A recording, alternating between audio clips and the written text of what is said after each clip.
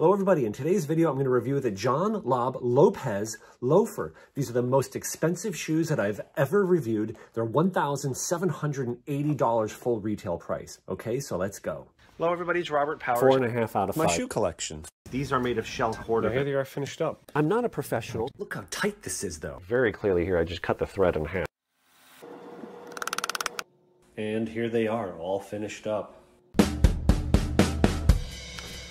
Hey guys, if you're a fan of my channel, it's so glad to see you again. I know a lot of you guys have been saying, where are the shoe videos? My channel has, uh, you know, migrated, I guess you could say, diverged. I now have shoe content as well as automotive content since buying a 1971 Oldsmobile. So I know there's a lot of you that are really, uh, are probably really happy to see a new shoe video. Um, so, uh, this pair of shoes, by the way, um, you might have gotten a hint from the cover. I'm actually going to compare them. i have got a, a, a few people that aren't in the know with shoes, I'm going to show them this shoe, the John Lobb, the John Lobb Lopez. This is a cheap, you know, Bostonian loafer. And then I'm also going to compare it to, although it's not a loafer, I know this is not um, equal, okay? It should be another loafer. A loafer. Uh, this is a Cobbler Union. I think this is the Richard. A Cobbler Union. Uh, um, this has hidden channel stitching and a fiddleback waist. This shoe's $450, full retail price. This one's like $60, $70, full retail price. And as I said in the intro there, this one's $1,780. Uh, I'm actually going to show these to some people and get their opinions as well. You'll see why in a little bit. But first things first, like I said, I'm going to review these shoes. Now, um, I'll cut in a picture here. If you know me, um, I did not go out and spend $1,780 on this pair of loafers. I actually found these at a thrift store and I paid a whopping $15. So I think that means I got them for about 99.2% off or something like that. Uh, if you're a fan of my channel and you've seen shoes, uh, my shoe videos in the past, you know I'm a big fan of rubber protective half soles in the past, but I'm going to let you know these came with them. This quality of level, level of quality shoe uh, generally speaking, I would not put these on. I, I, just, I would find it tacky, but they were installed by a cobbler. You can see they're cut in flush. So if I, you know, pull them off, it would, you know, I can't really pull them off because they cut the leather to get the, the um, you know, some people call these a Topy uh, flush, which, you know, like I said, if I pull them off, then it's going to look terrible. It's going to look even worse. But I guess what I'm trying to say is um, I believe these have hidden channel stitching. I believe. I'm going to double check. Um, but I would never put those on there like this. These shoes do for sure have hidden channel stitching. What does that mean? That means the leather here is cut because they are stitched on. Right, this is a Goodyear welted shoe. You can see the stitching there in the outsole through the welt. So they they cut this way, like about that far. You can kind of see the reflection. You can see the, the, the indentation. This leather is peeled open, right? This part of the leather is peeled back. The, the shoe is stitched and then that leather is laid back down, okay? So, if you take a close look here at the shoe, if you peel the upper back a little bit, you do see the stitching there. John Lobb is not the kind of shoemaker that would put cosmetic stitches in, you know, fakes, uh, uh um, you know, stuff like that. The insole, usually you can lift up this insole and see, but this uh, insole liner in this one and this one here are both glued down very heartily. I can't peel it up without, you know, yeah, damaging it or something like that. Um, well, I think I maybe can hear part of it. Now, I can't peel it back far enough to really see anything. But, so the point is, these to me, um, I'm assuming, I can't really see for sure, these are also hidden channel stitched.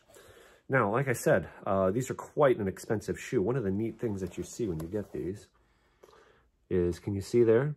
It says Lopez, and then it says 10 and a half. Um, and then it is E. I can't quite read it. There's a bunch of letters there. I think it says E43C5, something like that. But the point is it's handwritten, right? That's pretty spectacular. Now, 10 and a half. That's UK sizing. To go from UK to American, you take the UK size. I, there's no way I could wear a 10 and a half US. Add one, so this is equivalent to 11 and a half uh, US, okay? So first of all, who is John Lobb? Uh, now, one of the more difficult things that I do in these videos, I believe, is trying to satiate the more experienced viewers, you know, who are already well into this stuff, uh, you know, and experts and stay accurate with that, without talking above the newest person. Um, so uh, John Lobb, uh, I'll, I'll, read you from their website. Uh, I'm going to paraphrase. John Lobb boasts a bespoke atelier, I think that's how you say it, uh, atelier in Paris, a by-request service and a men's and women's ready-to-wear collection produced in its Northampton workshop. That's in England, right? Some of the finest footwear in the world is made in England. Since its inception over 150 years ago, uh, Lobb has trod an innovative path. Its founder, who traveled on foot from the Cornish coast to London in 1851 as a young apprentice bootmaker, also journeyed to Australia during the gold rush, creating hollow-heeled boots in which miners could stow contraband gold nuggets. I wonder if that has anything to do with the, you know, that traditional John Lobb, this, this funky design they put on the heels. I wonder. Uh, once returning, on returning to London in 1863, Lobb was named as the bootmaker to the Prince of Wales, uh, before opening the brand's first bespoke boutique on Regent Street in 1866. In 1899, John Lobb evolved its international presence, opening its first uh, Paris boutique. In 1976, the brand was acquired by Hermes. Looks like Hermes, but it's Hermes. Uh, and in 1982, spanning 19 global stores from New York to Beijing, Dubai, and Tokyo, John Lobb Limited remains family-run, catering to its local bespoke clientele and operates from their St. James Street location in London. I'll link in the video below a couple really cool videos about John Lobb uh, from a Kirby Allison's YouTube channel where I first started to really learn about him. It's really neat. My understanding is that the uh, bespoke shoemaking shop on the uh, St. James Street, on the James Street in London that we're going to see in the videos is not where the ready-to-wear are made. You know, two separate, there's two John Lobbs is kind of my understanding, okay? Uh, the label's ready-to-wear designs are made using a complex 190-step manufacturing process in Northampton. So, um, it, to the average person, I think there's very few people outside of shoe aficionados out there that if you said John Lobb, you know, are going to have any idea who they are, right? But that being said, they are one of the finest, uh, most well-renowned and world-respected shoemakers in the world. If you are into shoes, John Lobb has a massive, powerful presence, not in the volume of shoes, but in the, um, uh, you know, the level of quality of shoes that they produce, okay? So all that being said, um, my uh, video here is going to focus on these shoes. Um, and I guess I'm going to, like I said, review them as if I had bought them for, you know, closer to the full retail price. And what are you getting for your money? So first of all, one of the uh, first things that you notice about the styling, um, from their website, by the way, they do talk about the styling. And the more you get into shoes, the more you'll see that the shape of a shoe, right? The, the, the toe shape, the profile, and some of those kind of things really do make a difference and you'll gain an eye for. For example, if you start to see, you know, like uh, Gaziano and, Gaziano and Girling shoes, you can almost, you know, point them out by the toe shape. So that's something that you will develop an eye for where a new person maybe, you know, can't tell the difference. It's like a suit. When you, when you, I first got into suits, couldn't really tell a good one from a bad one became really obvious and once I started to really get into suits and I got a couple of decent suits, right? So as far as this loafer goes, you can see it's got a, a broader toe box, which is normally going to be the case with a loafer. You're not going to have something, you know, quite this chiseled, I guess, or is quite this angular uh, on a loafer uh, because it is more casual. And that's also going to let it fit a, you know, a little more of a variety of uh, feet. Um, you can see the profile here. The toe box kind of is a little bit tapered down, rounded, um, and really nice. I believe this is hand stitched, right? Where you take the leather and they, they pinch it there and they pull that together. Beautifully done. Um, and it's kind of interesting if you look at it, it's just, it's gorgeous, right? But notice some of the stitches there a little further apart. I believe this is hand done it's kind of interesting. You get into stuff like this. The handmade stuff is highest, considered the highest level, not because it is technically like the most exact spacing, but you see those tiny variations. It's really pristine neat, but those tiny variations let you know that it is hand done.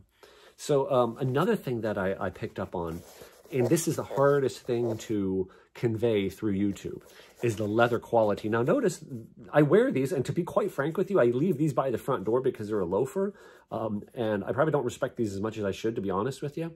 I leave these by the front door, and I generally don't put shoe trees in them. So if I was a little more diligent with my shoe trees, and they look pretty much just like this, I'll cut in a picture here, but they looked, as you can see, pretty much just like they do right now when I got them, meaning there are some rolls on the vamp. But now, what I want you to see is how the leather rolls gently, And all calf skin will have wrinkles. That's one of the hallmarks of good calf skin leather. You see, it's got very fine, neat, very neat, fine wrinkles in it, right? But it returns to shape very nicely if it would do more so if I put shoe trees in them religiously. I know you guys are shocked, right, that I would have shoes that I don't put shoe trees in. But um, the, the leather quality, so that's one indicator, the way it rolls and wrinkles very neatly, the way it returns uh, without evidence of creasing. But another one is the feel of it. The hand of the leather is what it's called. This leather, let me try and explain why I believe this is such high quality leather. First of all, it has a softness to it but not soft like I've had shoes before that were like sheepskin and they were just soft and structureless. This has some structure. This has some tensile strength to it. It's not extremely thin, but it's kind of buttery smooth. I don't know if you can even hear this. But it, it, it's just, it's got a different feel than most of the other shoes that I've owned. Um, you know, the Cobbler Union shoes are, are pretty high quality leather, but it's you know, this leather just feels a little bit tougher. So like I said, the, the leather quality here feels very smooth without feeling thin or floppy. That's, that's what I feel with this leather. And something else is the color. This is called museum. When you see this mottled color, like the dark and light mix, that's called museum. It's actually not terribly obvious at first. It's there. I really love it. It's beautiful right? You generally only see that on higher end shoes or custom dyed shoes, right? But in other words, I think it's nice because it adds character to the shoe, um, but it's not like, uh, you know, obnoxious, like you're trying to garner attention or something like that, you know? So as I kind of already said, um, I believe these do have uh, blind stitched soles, right? Hidden channel stitching soles, kind of a shame, as I already said, that they have uh, the rubber put on them. Of course, you have a real stacked leather heel construction with a rubber, a leather rubber combo heel. Now you see it says JL for John Lobb. This used to be for a long time, I believe, their standard signature heel, which I think is kind of cool because, you know, you're walking away, you may see that and the people in the know would be like, hey, wait a minute, right? But I'm going to cut in another picture here. On their current website, you'll see, first of all, the heel is uh, not this construction anymore. It's more of a traditional leather rubber combo heel, which I still really enjoy. Um, but another thing is I don't see this color on their website. Uh, the closest thing they have, there's a couple different colors here uh, in the brown range, but I don't, I, if I were to name this color, I would call it like a walnut museum as I think what it would be. Um, the sizing, I think for, again, 10 and a half UK would be 11 and a half US. I think is, uh, you know, pretty true to size. It's definitely not on the narrow side. I think this, in my opinion, would fit more like a US 11.5D, maybe a US 11.5E if you're buying them. Um, again, the toe box shape is gives you it's a little more generous. Whenever I have a problem with the shoe, it's always the right foot, the right side of my right foot, uh, because I have a, a, relatively short toes. My right foot measures about 11 double E uh, to 11 and a half double E with a ball length, meaning where the ball of my feet sit, about 12 to 12 and a half on both feet. Left foot is longer at 11 and a half, uh, about an E. So the point is my right foot is wider and I always have width problems there where my right pinky toe, if this is my foot, my right pinky toe would hit the shoe first. And these are snug. You know, again, I thrifted these. I didn't have a choice in size. I would have gone up to a 12. Um, I'm sorry. Uh, I would have gone up from 11 and a half to 12. So that would have been an 11 UK. 11 UK, if I just gone up one length, would have given me a little more width, a little more length, but perfect.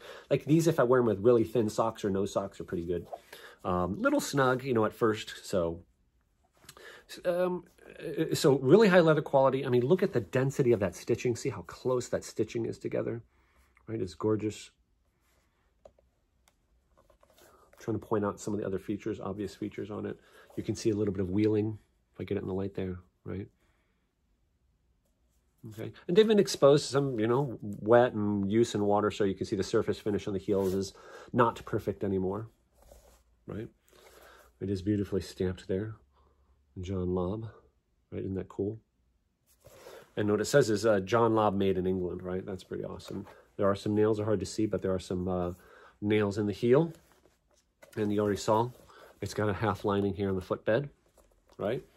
Um, it is lined. Some loafers are kind of like unlined. These are lined, right? And they are fully lined. Um, they're comfortable. There's not... Uh, I'm not sure what's in between the uh, footbed uh, and the outsole, because I've worn these a little bit. There must be some cork. I can feel some indenting, in other words, taking conforming, taking shape, but they don't seem to conform as much as my Allen Edmonds. I'm guessing because it's a loafer, maybe the thickness of the, um, you know, the cork bed is a little thinner. Um, I don't know for a fact that there is a cork bed, but the point is they're not especially comfortable. Uh, they feel like they have a fairly thin sole on them, which would be normal for a loafer. Um, oh, here's another feature I just realized. There's stitching there, but then there's a second row of stitching below that around the heel. Right, kind of nice. So uh, I really think, even though it's a beautiful looking shoe, and I feel very blessed to have them. You know, every time I put them on, I'm like, I'm wearing John Lobb shoes. You know, and I don't say that to anybody, right? Because again, nobody that I know, short of you guys that watch a channel, you know, or a couple of my friends I've already talked about this, my shoe friends, would know who the heck John Lobb is. So even though I really do like the shoes, um, here's a few things. I've worn these, I don't know, at least a dozen, you know, probably probably closer to uh, you know, if I don't include the times I just wore them to the store, but I've worn them out probably 12 to 15 times. Um, never gotten one compliment on them. Not once. Um, and not that I would want to buy a shoe to get compliments, but here's my overarching feeling with these. They're not especially comfortable. They're not especially good looking. I mean, yeah, the, the, the shape is nice, but it's not different enough to differentiate itself. Of the looks, the only thing I can really say that elevates it above the other things would be the, you know, the, the museum finish, um, which you wouldn't get if you got a solid color. Um, and the feel of this leather, but uh, again, the feel of the leather is nice, and I think that's going to contribute more to its longevity of the shoe. You know, the upper's not cracking, the upper's staying soft and supple, da da da, uh, more than a looks thing. the overarching feeling I guess I get from these is I don't see where the $1,780 is. I mean, in other words, what you're getting is, you know, not more money than a six or seven hundred dollar shoe, but you are getting a John Lobb, you know. So I guess to me, it's hard to justify the cost in this unless you really love and you really want a John Lobb shoe. Does that make sense? So, you know, I wouldn't buy Gucci shoes, and I've had Gucci shoes. I've thrifted them, you know, and sold them. Um, you know, and they're really expensive, you know, but and they're not that great quality. You know what I mean? In other words, you buy an eight hundred dollar Gucci shoe, you're you know not getting as good craftsmanship. You know, as a as a you know six or seven or you know hundred dollar shoe from another shoemaker. You know, um, you know, but like let's say like Cobbler Union, four hundred and fifty dollar shoe. You know, or you know four hundred dollar shoe. Um, so to me, it's just like that extra thousand plus dollars. That's hard to justify. I don't. It, it, I don't see the value in it. You know, um, so like I said, I think this shoe is not trying to compare with anybody. And if I said this or they heard me say this, John, they'd be like, they could give two rips what I think, right? Because they have a set price, they're not apologizing for it, and they obviously are staying in business selling it at that price point, right? You know, which means they're making a shoe in the process that they want to make it in, the way they want to make it, with the craftsmanship that they want, and then they're going to sell it at the price that shoe they're not competing or comparing with anybody, right? So again, my thoughts and feelings on it are um, not worth the money, but this is not a shoe you buy for the price. This is not the shoe that you buy when you, uh, you know, are looking at a budget or something like that, you know. Um, like, you know, restaurant example, there's a restaurant in Bath near us here called Lanning's, right?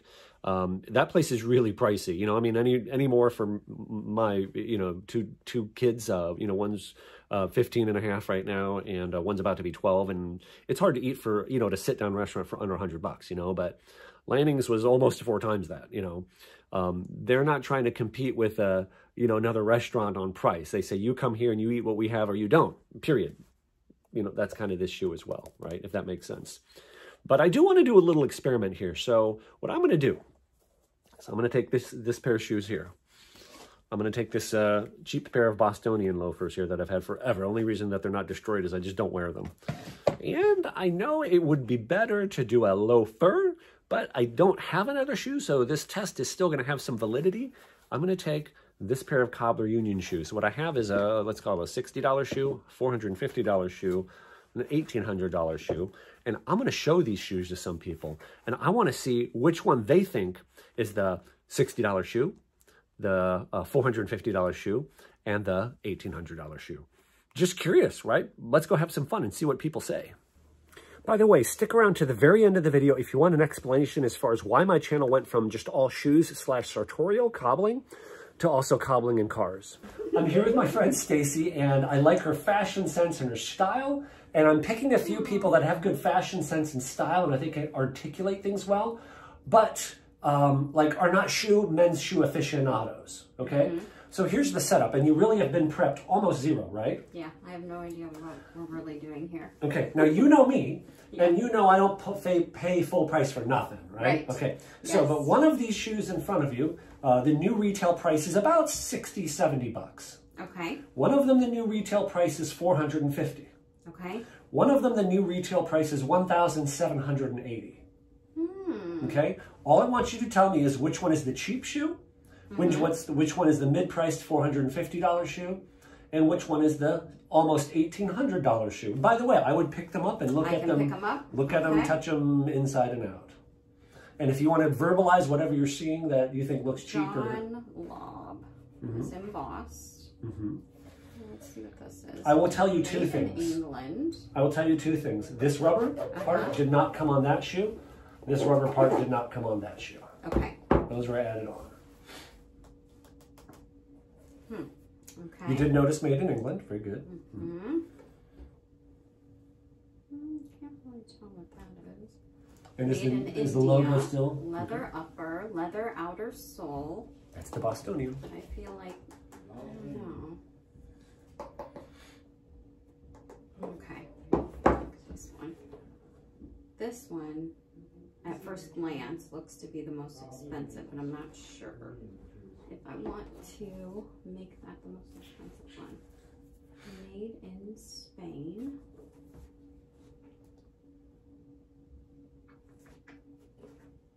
Hmm.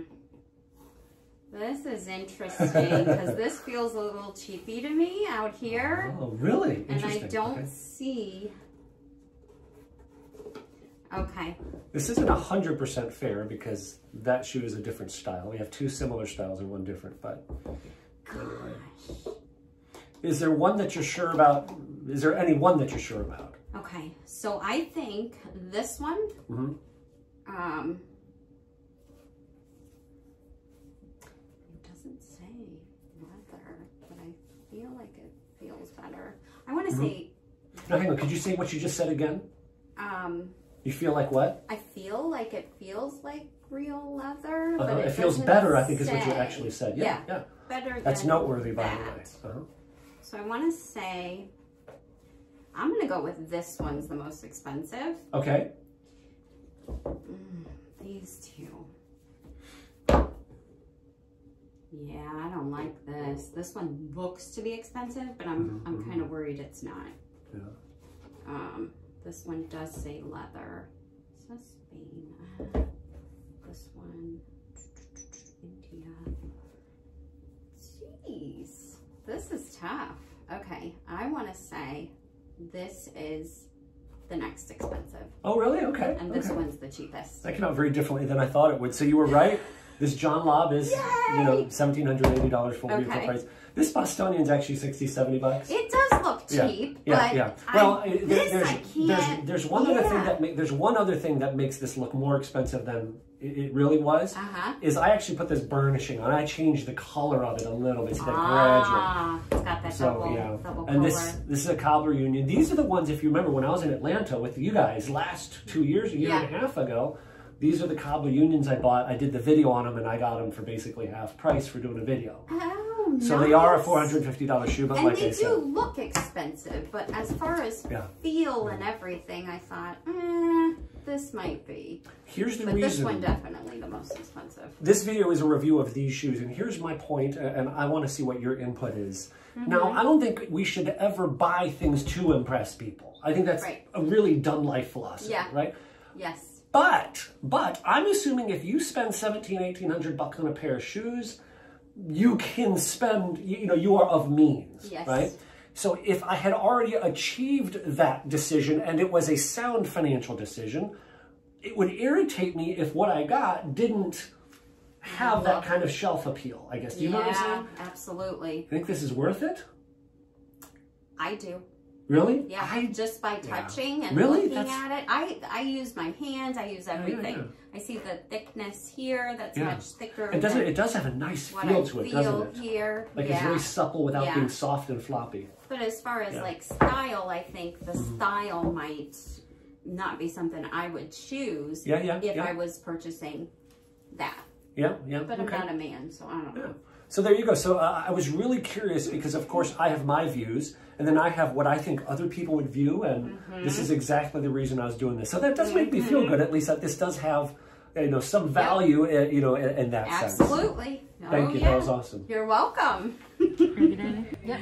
Okay, now I picked you guys here. I'm here with my uh, I'm here with my friends Mandy. She runs a business called Kitchen 212. By the way, if you're in Northeast Ohio looking for a caterer, description below.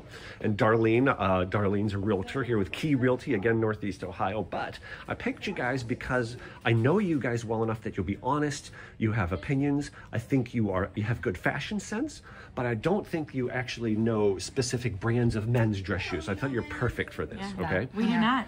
So here's the setup. We have here one of these pairs of shoes, and I've not told them which. One of them is about $60, $70 full retail price. One of them is $450 full retail price. One of them is $1,780 full retail price. Uh, and I want you guys can pick them up, look at them. Only thing I want you to know is this pair here did not come with the rubber on the soles. Somebody added that on.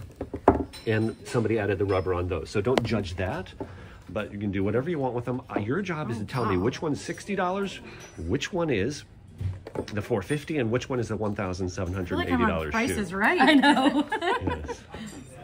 Is it fair to say you guys don't follow men's shoe brands, right? Not at all. Okay, perfect. Not at all. Part of the reason I'm just giving you the background is kind of like a is it worth it kind of thing. You know what I'm saying? I think they're all nice looking shoes. Uh huh. Okay. Did you smell it? the leather. Um, if I had to guess right now, I would say that this is the sixty dollar shoe. Really? Okay. That's what I was thinking too. Hmm, okay. I'm going opposite of what I think. Then this would be the four fifty, okay. and then this would be the most expensive one. Interesting. Okay. I think I'm gonna put this one at the top, the most expensive one. How come? How come? I don't know. There's just a little more style to it than Okay. just the like the straight flat. And this one just looks like it does kind of look like an everyday. Black That's shoe. why I feel like it's just a standard. Uh huh. Yeah. So, This, Darlene, watch, you, this you- will probably be the which one do you think is the low end one, Darlene? Really? The You guys both one? agree with that? Yeah. Okay. and okay. then maybe this one at the top. It's got like some Interesting. And this would be your wrinkles and form fitting, and Uh-huh. this one's kind of plainer. Okay. I'll. Uh, so decisions made. Final answers. Yeah. Okay. Yeah. I'll. I'll We're gonna see Actually, how much right- our knowledge is right. they're in order 60 450 1780 So we got this You one were right. right. yeah this is a bostonian it's a cheap shoe um, this is cobbler union you know this one actually has a lot of the higher end features in it I couldn't tell a lot by the. I was trying to figure out like what Fiddleback the waist. soles- I just I feel like I Oh. see a lot of people or guys who wears shoes like this, so I just assumed it was more of like a standard Yeah, right, like, right, right, sixty right. dollar shoe. yeah so the interesting. Or like in brown. my I thought the way this was going to go was every woman was going to say this is definitely the more expensive shoe because of the color in it and because of the way the sole looks with that nar- they call this a narrowed waist they call this a narrowed waist and then that hump is called a fiddleback. Yeah. but uh, uh, and I thought nobody would think, but all three of you have said that the John Lobb. By the way, John Lobb, this shoemaker, um, has a what is it called? A, a, a warrant, I think it's what it's called, to produce shoes for like King Charles. Oh wow. You know, like I mean, they're the most expensive shoemaker in England. You know what I mean? And, and I, by I the can way, see what you're saying. Yeah, there, it's Darlene, just I was looking yeah. at like the fit and the. the leather Yeah. quality is amazing. This is called a museum patina. but all three of you, all three of you picked out that as the most expensive one. Or I thought for sure you wouldn't. So. Which uh, is your favorite? I like these. I got them for 15 bucks. It at the looks thrift- comfortable too. Their store. Um, they are comfortable, So kind of the summary of my review of them was they're great, but unless you're looking for a John Lobb shoe, is it worth it? Is it worth it? I guess the three of you may have swayed my opinion a little bit. Where Which shoe did you wear today? Um, I wore the John Lobbs. Yeah, but I, I mean, I guess the lesson I learned is that women can see quality, and there is Yeah. something to Even it. if we don't know anything about don't, it. yeah. Wow. Thank you, thank you, thank Yeah. you, ladies. So I know a couple of you are already probably in the comments here saying, you know, hey, you ding dong. You said that all three of them chose John Lobb as a top and they didn't. Mandy chose Bostonian. So I, I realized that. Uh, number one, I realized I'm a ding dong. Um, I don't know if I just didn't listen or what, but um, I guess it proves that anybody can be a YouTuber, right? So eh, I'm not sure what I learned from this. Um, I'm not sure if there was a point or purpose to this video, but Stacy said in order from highest to lowest, John Lobb, Bostonian, Cobbler Union. Mandy said Bostonian, John Lobb, Cobbler Union. Although she did also say, I think she said something to the effect of I'm, uh, you know, going to say the opposite what I, you know, I got. So if we took that into account, she's putting Cobbler Union at the top, then John Lobb, then uh, Bostonian. Uh, and Darlene said John Lobb, Bostonian, Cobbler Union. So I really like the Cobbler Union shoes. I love the Cobbler Union shoes. They're not very comfortable. They're they're lower down on the scale of comfort, but they're gorgeous. You know, like if I'm going out and I want to, you know, uh, impress somebody, I guess I would say, um, I usually wear either those. Or I do have a pair of, um, you know, Polo Ralph Lauren. Maybe I should have used those for the comparison. Oh, well. Polo Ralph Lauren um, um, monk strap shoes. But, uh, so, but everybody rated the Cobbler Union low, which I thought the reason I used it was because of the way it looked. It was cut, the fiddleback waist, da, da, da. I thought for sure I was going to fool everybody that that's the top. So, um, I'm not sure that I learned anything in this video other than the John Lobb quality did come through because there that was the only shoe that had a consistent either two of the three ladies marked it at the top rating and one set in the middle. So um, I guess what that told me is kind of like I said there, uh, you know, at the um, you know place we are recording, the restaurant we are recording, that there is something about a high quality shoe, a true high quality shoe that does come through. And I think what it is with the John Lobb is it's the leather feel and the way the leather looks because it wasn't the way necessarily, I don't think the Cobbler Union looked that people said, oh, that's a cheaper one, but when they touched it. But it's not bad leather. I mean, it's not a cheap shoe. So I'm really blown away, I guess. So um, if you guys want to comment below, like what the takeaway from this is, you know, um, you know, you can put that below.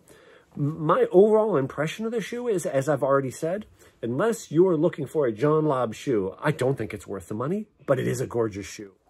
So let me give these shoes a ratings. For aesthetics, I give it, I'm to give it four out of five stars. The reason I don't give it five is even though the leather looks beautiful, you know, the touch and feel, you know, those kinds of things, the stitching around the apron is beautiful. Um, the, I guess the only thing that brings it down a little bit would be just, there's nothing special about the, the last shape, in my opinion. Um, and I don't know how low, you know, how nice you can actually make a penny loafer, you know, so, uh, you know, four out of five for that. Fit and comfort is four. They're nice. They're pretty comfortable, not super comfortable. I feel like there's not as much compression, you know, between the insole, the cork bed, and the outsole, you know, as some other shoes I've worn. Um, so they're pretty comfortable. Uh, build quality, definitely five. You know, they're immaculately done on the outside. Uh, the clicking, the stitching, uh, you know, again, leather quality. Construction durability, I give them five. Cost value, I'm going to give them lowest score I think I've ever given on a shoe, which is going to be two, just because there's $1,780. And I just don't see, you know, almost $18, $1,800 worth of value brought back. So that's my opinion. Uh, that gives it an overall score of a 4.0. Just to give you a frame of reference, Warfield and Grand boots that I reviewed last week uh, that are 200 to 225 bucks, I gave them a 4.4 with the same scale. Allen Edmonds Atchisons that I bought on sale for, I got those for $97 new from Allen Edmonds. Uh, those were 3.8. My Allen Edmonds, Allen Edmonds McAllisters that I got on sale for 225 like five years ago were 4.4. And the Cobbler Union Richards that I purchased uh, um, in, in Atlanta from Cobbler Union, uh, those I gave a score of 4.5. So I do feel like I kind of owe you guys an explanation as to why is my channel suddenly, after about six years or whatever, diverged and I started to have all this automotive content. Long story short, I was always a huge gearhead. I had an awesome, a really cool 1986 Olds Cutlass with a big block in it that got stolen in 2004. Well, you know, uh, that was about the same time that I went into business for myself. My income went down. And then, you know, when having kids, it just, you know, that hobby just kind of had to go to the, to, you know, way back on the back burner. And I, I couldn't have content about that kind of stuff when I didn't even have a car. And I realized after turning 50 that if I'm going to do something when I grow up, I was kind of running out of time on the clock. You know what I'm saying? So that, uh, um, when I got the car, summer of 2023, I knew I was going to document it. I thought about starting a separate channel, but just to be honest with you guys, there's real downsides to that, meaning no fan base, you know, etc. And I was putting so much time into that, I didn't have the, the shoe content. The, the pandemic and the lifestyle change of the pandemic has hurt my shoe content because we're not wearing as much shoes. We're not in the office together. We're all working from home more. You know, the part-time staff just isn't there to wear shoes out and ding them up and send them to me. So you know, car car content suddenly went, you know, was there that wasn't there, and my shoe content went down. Plus, I used to be able to pull five to 10,000 views just by putting the word Allen Edmonds in a title. I really believe I did some of my best uh, sartorial slash cobbling content during the pandemic, and my views went in the toilet. I, could, I couldn't pull a thousand views. So I just made the executive decision. I says, well, channel's in the toilet view-wise anyway. I stopped caring about what the views were. This is how I started the channel, by the way. I stopped caring about what the views were, and I just posted content. I bet, did the best content that I could, and I said, whoever's going to watch it's going to watch it. So that's why I am where I'm at. I hope that uh, kind of makes sense to you. That being said, fire away below. If you liked this video, please hit that little, you know, thumbs up. And if you'd like to subscribe, please do so. Um, again, cobbling and cars. My channel used to be all just cobbling and sartorial and suit stuff. You're going to see both kinds of videos. It'll obviously be very clear. I will try to keep a little bit more consistent basis, more of the sartorial kind of stuff. And, um, you know, I just hope that you guys have a blessed day and uh, that this content does bring you some value, okay? God bless you guys. Take care. Thank you so much. I've been a huge fan in the past of rubber protective half soles. I lost the other shoe. Where the crap is it? Oh, it's right here. Um, most a bespoke. Uh, uh, okay, so I'm here with my friend Stacy, and I'm going to use her for no use.